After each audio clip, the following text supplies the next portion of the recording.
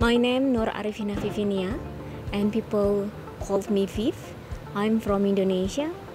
I'm studying in uh, University of Canberra in Canberra, and I'm currently doing this Master of International Development. Uh, studying in Canberra is a very big opportunity for me to advance my network.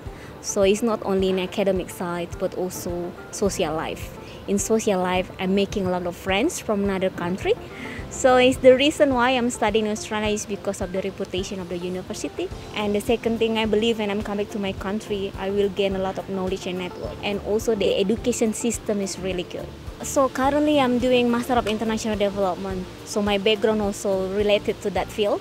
So I'm expected when I'm come back to Indonesia later, my knowledge and my education will be useful to contribute to Indonesian development programs. I believe when I'm studying here, I learn a lot of things that might be I cannot get in my uh, work field or work experience, which is really match when I'm studying in Australia. My suggestions to new applicants, just go ahead with your belief and then please choose really the study that you really want to.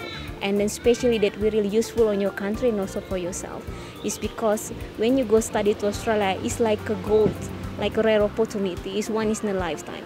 So this is very crucial that you need to be selected. Very very good uh, field of study when you go here